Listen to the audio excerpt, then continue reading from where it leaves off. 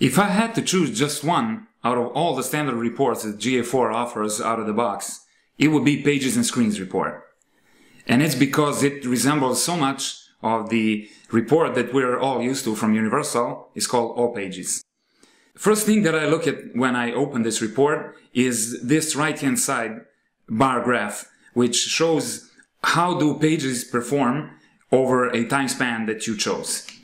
Now this line chart here is giving you a little bit more insight because you can see how each page performs on any given day. So for example, you can see an interesting spike or something unusual that happens and identify what goes on in there. Now I'm going to go straight into an advanced topic and show you how can you exclude a page.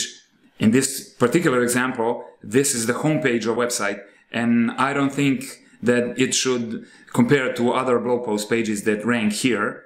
So if I wanted to exclude it, I would go into customizing of this report and choose to add a filter. And for the dimension, I would type here page title. Then choose it from the list here and say, perfect, let's exclude that page. I have to choose it again and apply. And now my homepage is not here mixed up with other blog posts.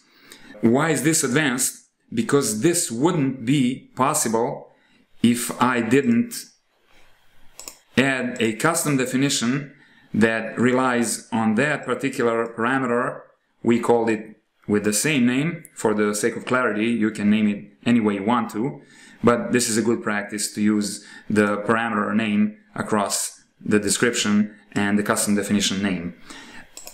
Let's look at the Google official docs where GA4 states that following parameters are collected by default with every event. One of them is page title, but you would not be able to exclude a result from a table or a chart by using that particular parameter unless you previously defined it as a custom definition in the admin section. Let's go back to pages and screens and see what else does it have to offer. If we look at the table down here, it offers an additional data about the pages that you're looking at. So you can count views, total users. This is a calculated metric views per user. Engagement, which is a very cool feature of GA4. Previously, we relied on bounce rate, but it was a dubious metric. Then we have all the events connected to each page. And also we have the conversions. Now, if DDU website was selling something, it would be wise to add transactions, but so far conversions boil down to purchase, which is an automatic conversion, zero results in this account. Success pages for different types of lead generation strategies. And basketball game is an example conversion that uh, is used on Google Analytics 4 CYA program. This report here is also valuable because it offers a nice starting point for customizations and you can add different dimensions here. You can customize the metrics in the table. For example, if we were doing e-commerce, we, we could easily say e-commerce purchases here, apply that, and that metric will come up here in this table down there. You can turn off these graphic representations of your data. I personally prefer tables to graphics. And also you can customize summary cards here.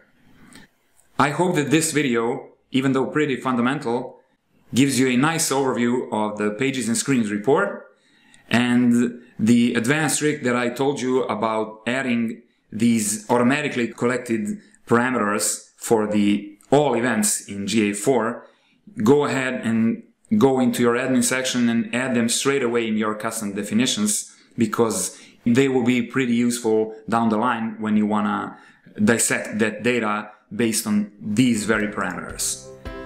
If you liked the video, please click the like button and subscribe to our channel and see you in the next GA4 topic.